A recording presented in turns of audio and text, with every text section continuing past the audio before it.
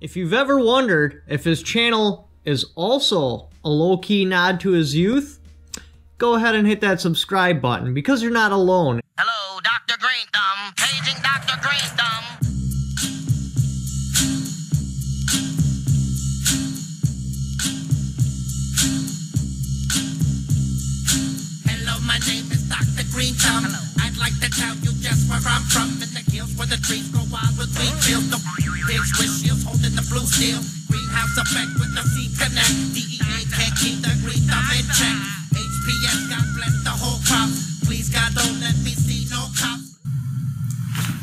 76. I'm okay with that. Yeah, I'm okay with that too. Yeah, Alright. okay. And if you've never been in the comments section before, I highly recommend you jump down in there and explore how terrible my grammar can actually get. Alright, so as you have seen in several videos, this is the Ditch Witch. It's my personal shotgun. It's a Winchester 97. It's been converted to a trench gun. This is an original Winchester. One you haven't actually seen in a video yet, but I've teased it a bunch in pictures and thumbnails of other videos. This, I actually helped a guy put it back together. Um, he calls it the house broom, so then I started calling it the Roomba. But actually, after doing testing on the functionality of this firearm, I'm going to encourage him to change the name to the Jackhammer. And you'll understand as this video unfolds. This was actually a hunting Remington Model 11. He had loaned to one of his buddies. His buddy was walking through the marsh or some place where there was mud. Accidentally put the tip of the barrel in the mud. Did not realize it. Seen game. Went to go take a shot. Because this actually came with a 30 inch barrel. It's currently sporting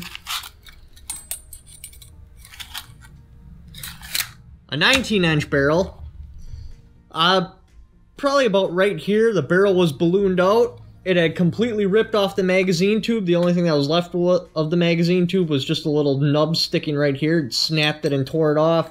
This thing was in a box and completely rusted tight.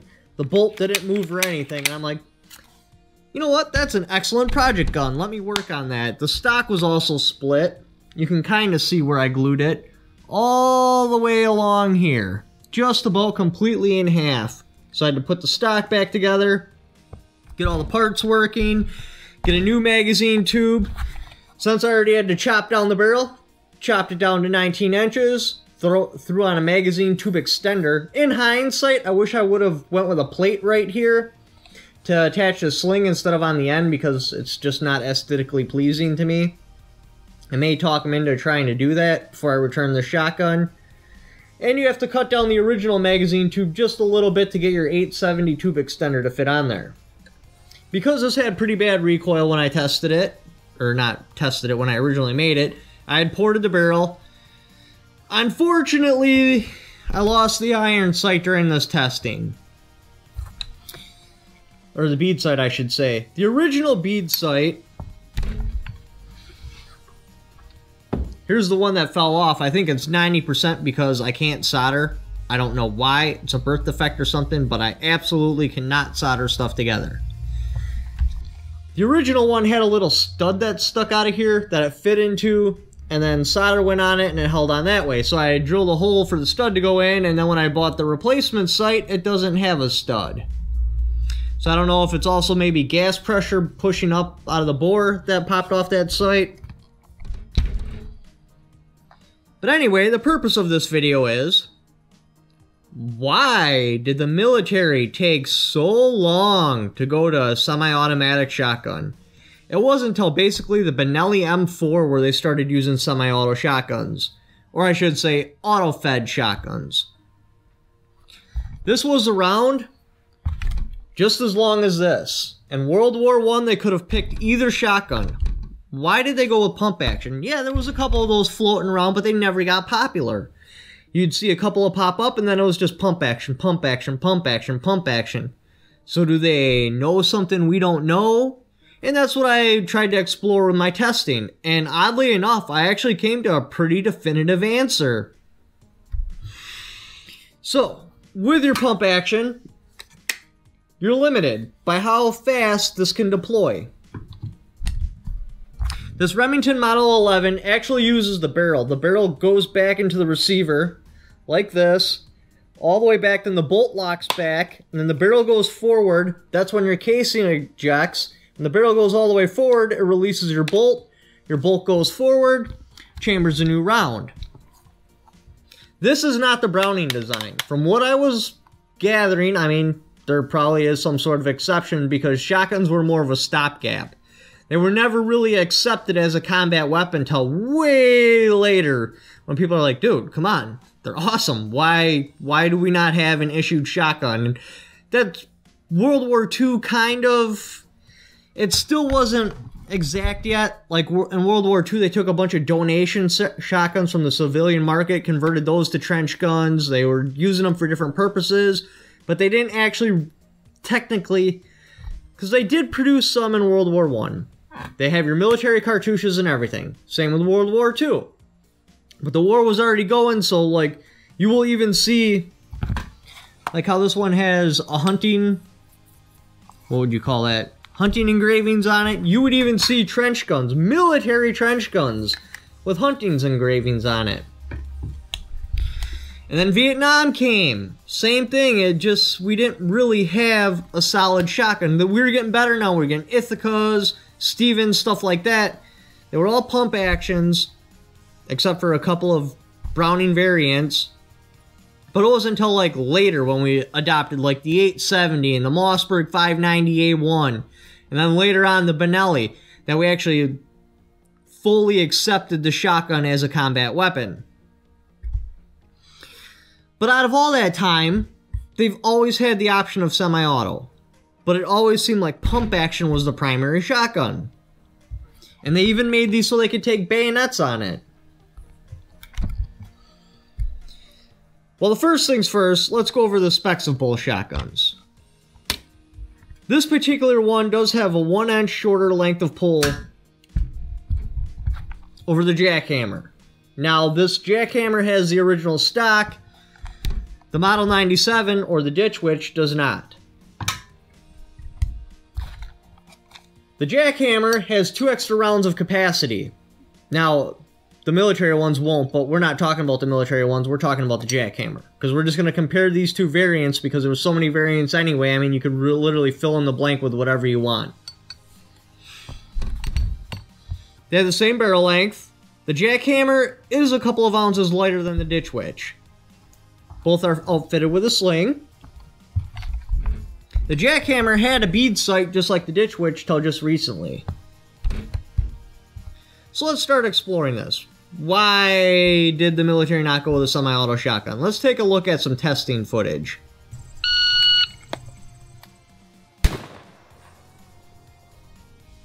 Two point four one.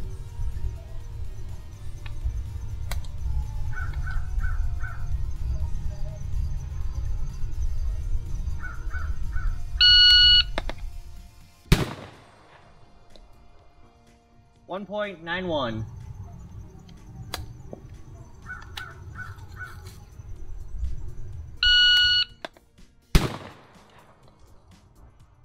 One point five three.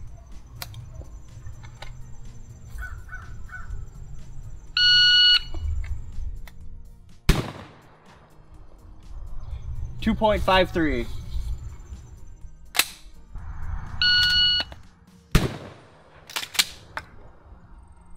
One point three four.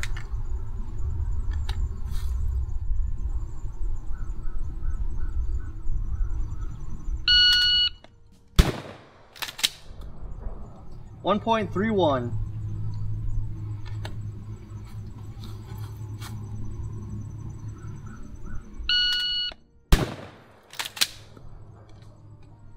One point zero three.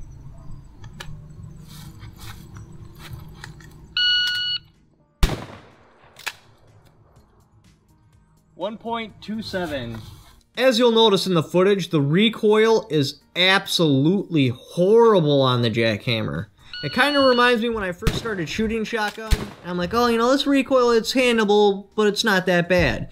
And I think I was going through like a cheaper than dirt magazine. I found those little boots you can put on the stock, and I'm like, oh man, that'll like take away all the recoil. I put the boot on the stock, and all of a sudden my shotgun has more recoil. I didn't understand it. Now I do. Basically, those boots give a little bit of space so the shotgun can build up momentum. So instead of when the shotgun recoils, your body goes back and absorbs it, because it has a little bit of space, the stock slams into you. Look at what the jackhammer did to me. That's horrible. The jackhammer, because the barrel, the bolt, and your spent casing all comes to the rear, hits the rear, and then goes forward, you have probably two pounds worth of mass that's just winding up and striking you right in the shoulder. This thing recoils bad. I mean, just look at these still shots. The Ditch Witch, I'm up like this. The Jackhammer, I'm up like this. And even when you watch the footage, watch my back and watch my skin ripple and my back jerk back. And I believe that is the main reason they never went with a semi-auto shotgun.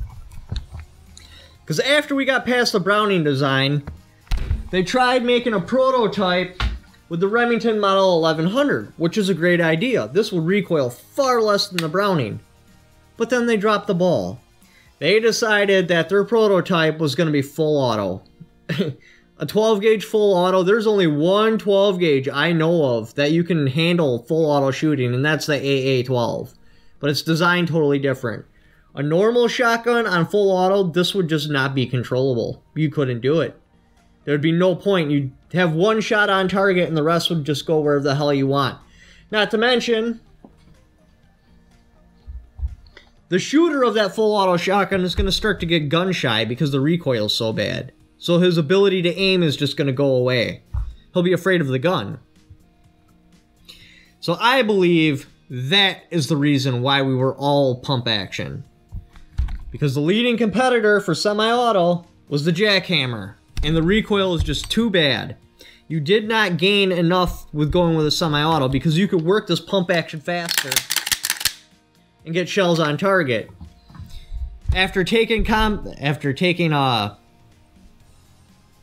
taking on that recoil, by time you get back on target, it's neutralizing the effects of having a semi-auto shotgun.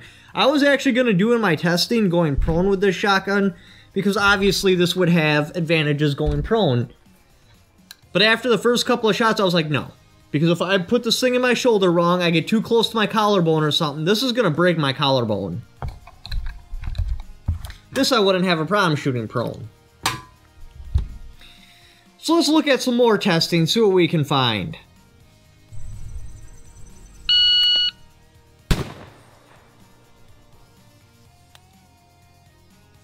One point four two.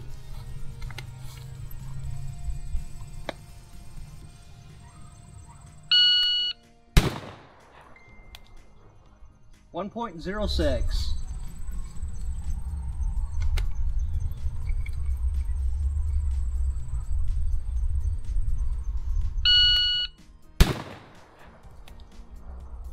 One point one five.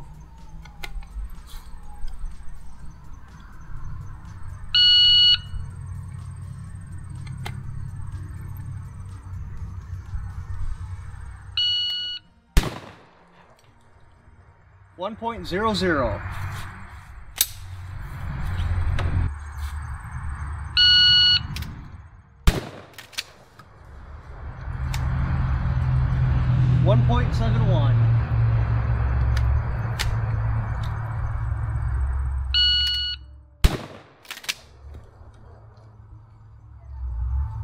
1.10.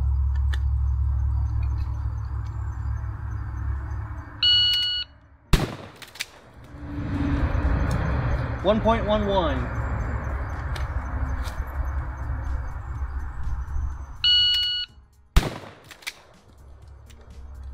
One point one three.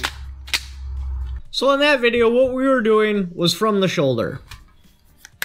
Basically, I start at low ready. When the timer goes off, I engage my target. Now, the jackhammer does have the advantage here because it's got your safety. So from low ready, my finger's already on the safety. So as I'm coming up to my target, I can click it off and engage my target. The 97 from low ready, I have to start with my hand out of position. So the timer goes off, I have to cock the hammer, move my hand, and then go on target. I didn't do enough shooting to where you can really see a split, but if I were to just keep shooting and shooting and shooting, eventually the jackhammer would be faster at that particular drill. But because I have far more rounds down with the Ditch Witch, and I'm way more practiced with that shotgun, it was coming out pretty even. But eventually, yes, this would be faster. Not to mention, I was pretty gun shy because this was early in my testing and I just got a feel for the recoil. And man, that thing cleaned my clock. I was shook up after the first couple of rounds. I'm like, wow, this is terrible.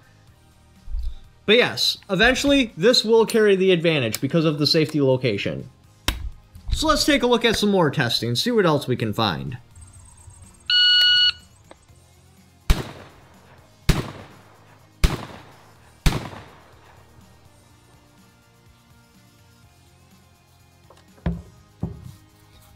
Alright, the set took 5.37 how? Oh, here we go. First shot was 2.01. Second was 1.19. Third was 1.14. Fourth was 1.03.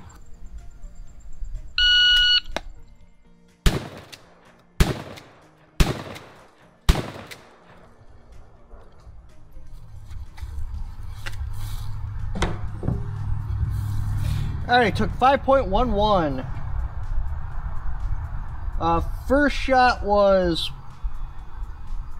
1.88, second was 1.15, third was 0.99, fourth was 1.09. Now in that particular test, I started off, uh, I can't remember, I think it was low ready, went to the first target and worked my way down. So you can actually see the effects of the recoil.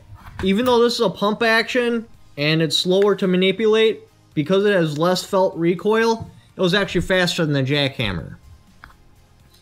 As you put more and more and more and more targets out there, you're going to start to really see that split. So let's take a look at some more testing, see what else we can find.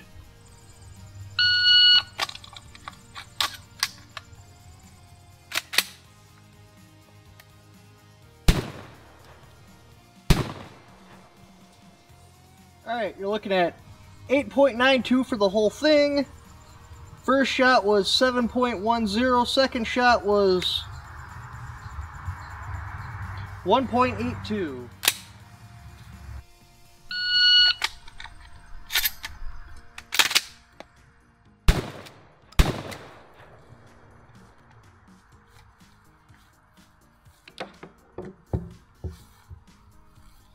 Total thing, 5.89. 4.9.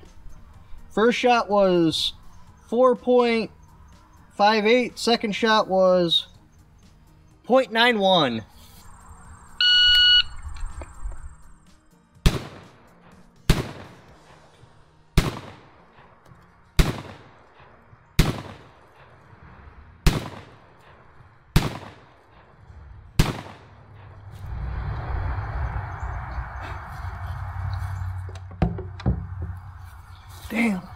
Not sure if I got that last one, but it took me 13.59. First was 2.66, second was 1.23. Third was 1.68, fourth was 1.62, fifth was 1.40, sixth was 1.87, Seventh was 1.50. Eight was 1.63.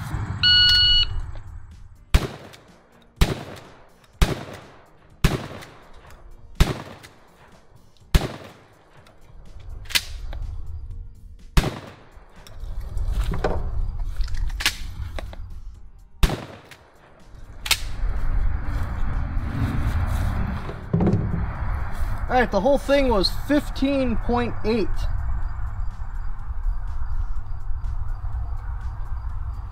First was 1.71, second one was 1.07, third was 1.01, fourth was 1.02, fifth was 1.36, sixth was 1.55, seventh was 3.42, eighth was 4.66. So in that video, what did we see?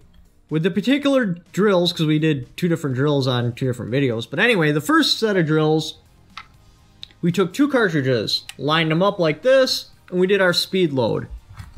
Now the Ditch Witch was exponentially faster, and that's for a reason. One, there's no load gate. So all you gotta do is put your two shells in, go forward, and go through them. The jackhammer was slower for two reasons. One, the terrible recoil. Two, not only is there a load gate, this thing is locked. You have to push the button to release it. So I was holding it, I was trying to hold the button. So I'm fighting with the load gate. Get my two shells in. And then I can go to work. Had to come over the top to rack it. It wasn't natural, like with the Ditch Witch, put my two shells in as I roll the shotgun, I can rack it and start going to work. The jackhammer, put my two shells in, roll it, come over, over the top. So due to the recoil and the load gate, the jackhammer was slower. Now the next drill, I just lined up eight targets because this has a higher capacity. So it makes sense to do a drill where it's going to have an obvious advantage but that obvious advantage wasn't there. The Ditch Witch was in fact slower, but I had to do a reload in the middle of the drill, and then for some reason I thought this only held six shells, but it holds seven, so when I went to go to my seventh target, I had it open like... Did I have it open? I think I had the chamber open, I'm like, oh, there's another shell. So that stumble probably costed me a half second, second, and then we're talking about a reload. So if this had the capacity, without a doubt, it would have been faster than the jackhammer. Now let's take another look at a video. This video, I'm setting it up like it's a home defense situation. So you can't just use your right shoulder because, say for example, your house is set up like this, your bedroom's right here, the hallway's right here. Well, you got to come out with your left arm. Now I feel the best way to do this is you keep your shotgun like this, on this particular shotgun would be my thumb on the hammer. So even if I peek out and there's someone right there, I can just cock the hammer and shoot it like this. Then, okay, there's not someone there. So now we're going to go, shoot. Now, in this drill, I obviously go to the next side, just in case I come across another doorway and have to shoot. But for home defense, I feel with a shotgun, because you can do something like, how do they do that? Like this, but I'm always afraid I'm going to smash myself in the face with my shotgun. I mean, there's people that do it just fine without worrying about it. With a heat shield, you could do it on this one. But now with like the jackhammer, you can't do that one because the barrel moves. I don't know if your thumb is enough to stop it from moving, but if you have a good grip on here, this isn't going to work at all because your barrel's got to move. So with the jackhammer, again, this would be the best way to approach it. Come out and go like that. So let's take a look at that video and see what kind of information we can find.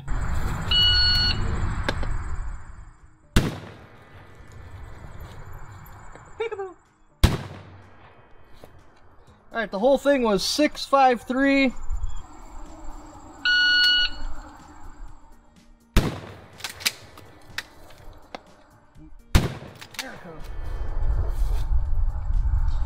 Alright, so the whole thing was 5 point 9-0. Now, even though the Ditch Witch did run that drill faster, I do believe the Jackhammer has the advantage. Because of the safety, you can click it off. There's nothing to pump, so, alright, with the Ditch Witch,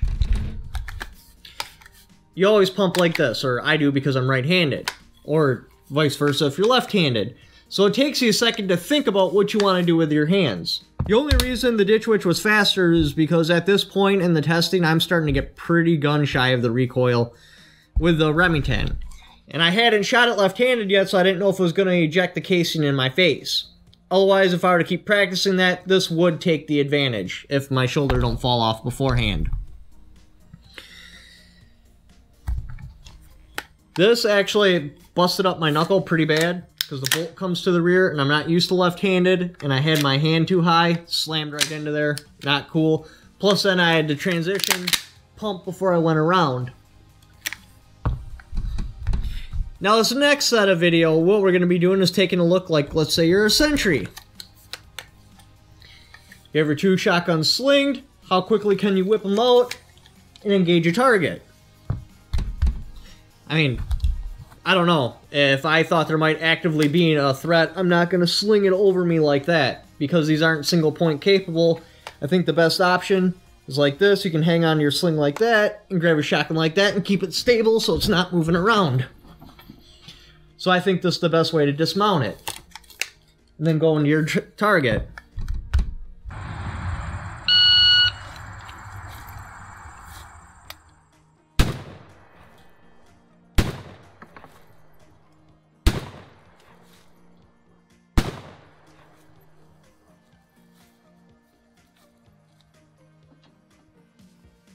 Alright, the whole thing was 10.7.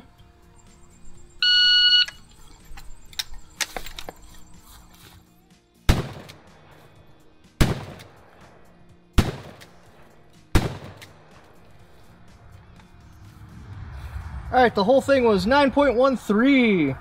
Now, the Ditch Witch was faster, I believe, for two different reasons.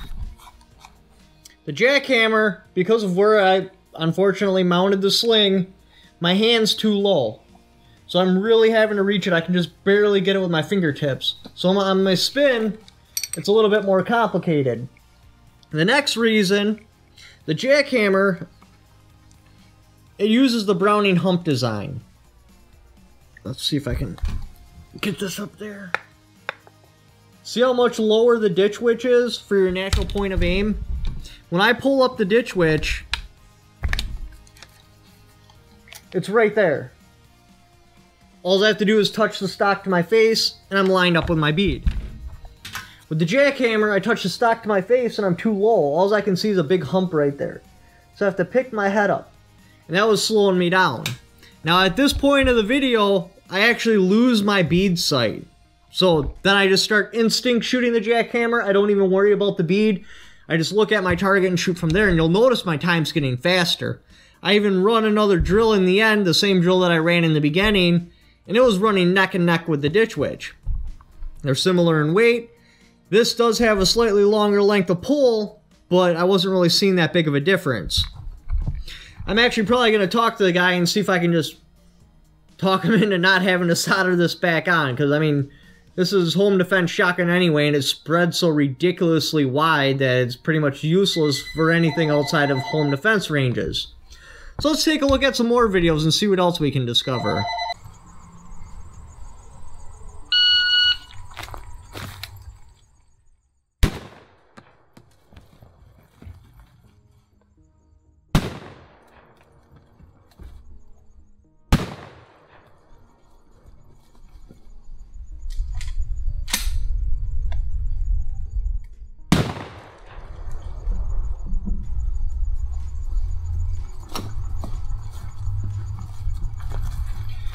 Alright, so the whole thing took 18.89.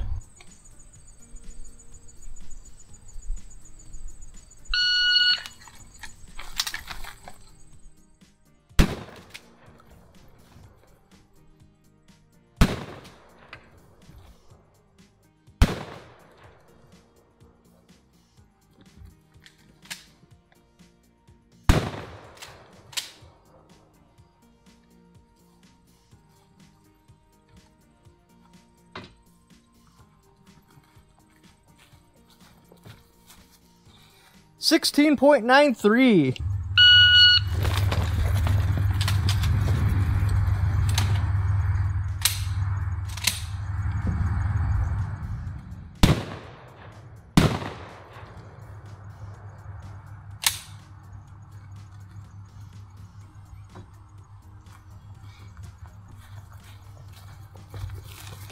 All right, the whole thing was 10.57.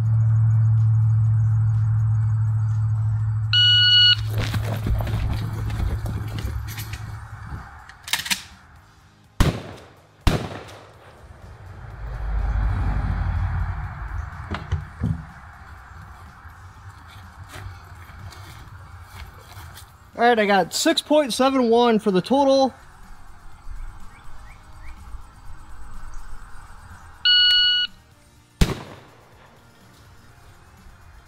One point three six.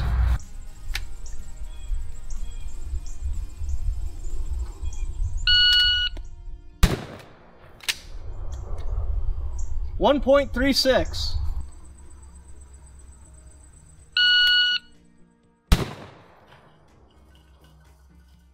One point five six.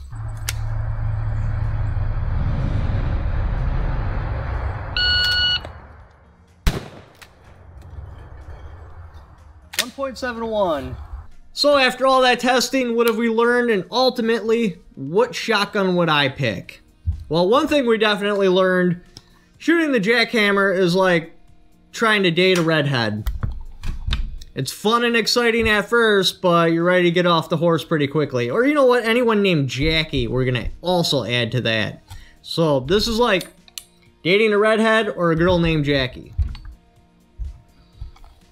Ultimately, I do believe the Ditch Witch outperformed the Jackhammer, and I totally understand why we never really adopted semi-automatic shotguns for a very long time.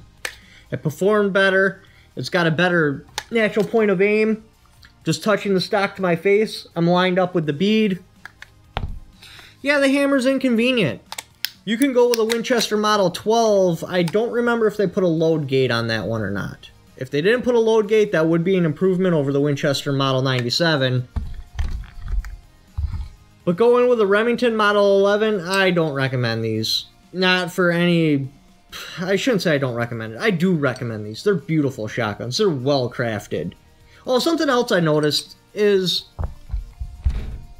the Winchester 97 would hold its heat longer. I don't know if it's a different type of steel inside, maybe the color of the finish, maybe it's got thicker steel. But okay, so I'd run a drill with the 97. Then I'd run it with the Remington Model 11. I'd go back to the 97, and the 97 would still be very warm to the touch. So then I'd run a drill with the 97, go back to the Remington Model 11, and this would be cooled down, like it was never shot. So I'm not really sure what the deal was on that one. But ultimately, what would I pick? The Ditch Witch. I think it's just slightly more sexy. For me, at least, it's more practical. I just like the shotgun more. Obviously, I'm going to get both of them at some point anyway, but if I only had to choose one, it would be the Ditch Witch. If you'd like to check out any of my other videos, click on the cards. Uh, thank you for watching. If you'd like to help support the channel, there's links in my description. I can't put affiliate links directly into YouTube, so just click on the Gunstreamer link and go to one of those videos and click on an affiliate link because I've actually been getting hammered pretty hard with demonetization. About one in three videos get demonetized. Thank you for watching. Leave in the comments below which one you would pick and why.